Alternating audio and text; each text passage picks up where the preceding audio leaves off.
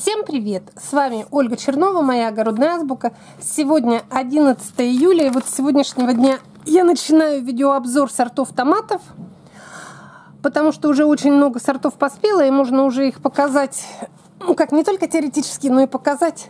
Вот очень сложно снимать, когда томат такой низенький. Первым, вот он у меня тут с краю растет, будет толстый джек.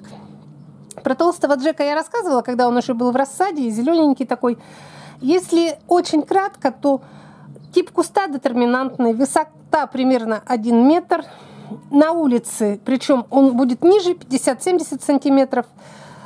А вот здесь в теплице у меня вырос он метр. Срок созревания ранний. Цвет красный. Форма плода плоско-округлая такая, классическая форма томата, обычная. И вес плода колеблется 200-300 граммов.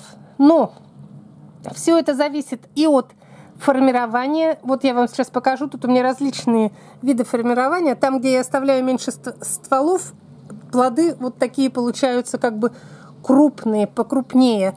А где вот там, видите, третий вот этот многодетный, который весь облепленный, как кисть винограда, там их много, но они мельче. Это зависит от того, как вы будете формировать. Вкус сладкий. Я подробнее расскажу на дегустации. Сейчас не буду на это заостряться. Сейчас только вот про внешний вид.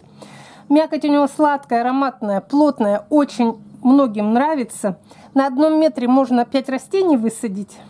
И в открытом грунте в прошлом году у меня получился он крупнее, а в этом году я попробовала вот в теплице вырастить. Видите, он какой? Это очень урожайный. Вот смотрите, он весь-весь улеплен вот такими вот плодиками. Вот, ну, весь куст. Я говорю, как гроздь винограда, как будто бы вся улеплена плодами. Ну что еще сказать? Вообще, несмотря на то, что он ранний, я высадила его в теплицу нынче и не пожалела, потому что в самых первых рядах он у меня поспел. Очень-очень массово спеет. Вот сейчас я первый раз сниму урожай, и потом посмотрим, как он дальше будет отрастать. Но так как он детерминантный, ясно, что у него вот это все ограничено. Ну, тут еще много и завязей, и цветов. Конечно, у него урожайность у детерминантных немного меньше, чем у индентов, индетерминантов. Но все равно, видите, он очень старается, хочет порадовать хозяйку. У меня он в каталоге под номером 175. Вот сейчас я буду выпускать, ну, уже буду записывать каталоги с подробным описанием. Кого заинтересует этот сорт, можете прочитать в этих, ну, в каталогах.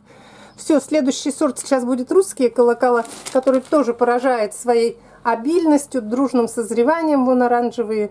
Ну а с толстым джеком прощаемся. Мне этот сорт нравится, неприхотливый, можно без посанкования, можно по-разному формировать. Видите, вот здесь, где я поформировала, поменьше стволов оставила, он покультурнее смотрится. А вот здесь я оставила все, что у него наросло, видите, много стволиков. Я все оставила, но несмотря на это, он тоже очень быстро вызрел. И вот своей дружной семейкой создает очень красивые пейзажи в теплице. Короче, толстый джек это не только для открытого грунта, он вполне может стать украшением любой теплицы. Все, до свидания.